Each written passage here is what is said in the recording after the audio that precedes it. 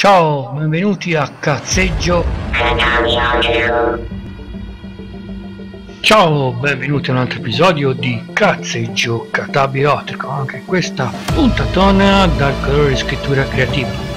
La progettazione narrativa dei grandi autori di fantascienza. Philip K. Dick, Words of Fifth 1954, L'uomo dorato, The Golden Man, Fabula, intreccio lineare con vampiri o demoni del 1932 ed esseri giganti del 1926, tutti immaginati come esseri mutanti, plot del 1898, in lotta con gli esseri umani.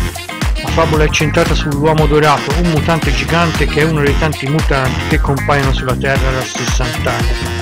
È un predatore che si nutre di esseri umani assorbendoli.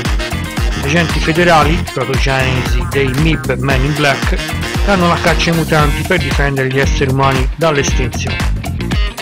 Treccio lineare. Il colpo di scena della favola è la capacità dell'uomo dorato di sedurre sessualmente tutte le donne che incontrava per aspergere in modo irresponsabile la sua progenie come un animale. Narratore esterno non onnisciente, invisibile e focalizzabile sui personaggi.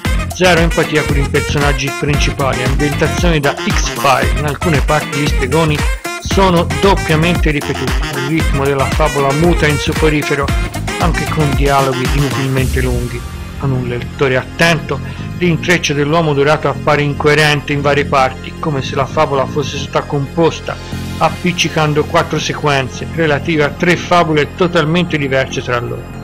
Nel complesso sono a mio avviso molto belli i dialoghi dei vari personaggi e anche se talvolta un po' prolissi e lenti, scorrono piuttosto bene suggerendo un film mentale in divenire nella mente del lettore.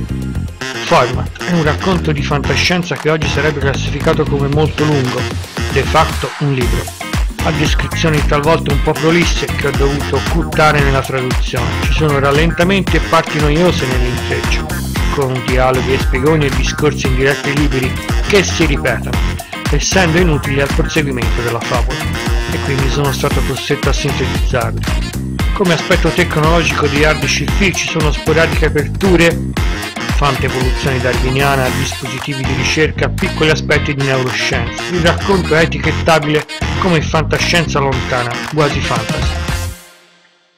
Elemento di genesi ufologica. Ecco, gli agenti del governo DCA dotati di tecnologia a potenziamento energetico rappresentano la nascita ufficiale dei MIB Men in Black, di cui l'editoria ufologica si nutrirà per decenni. In questa puntata è tutto, un saluto, ciao, alla prossima.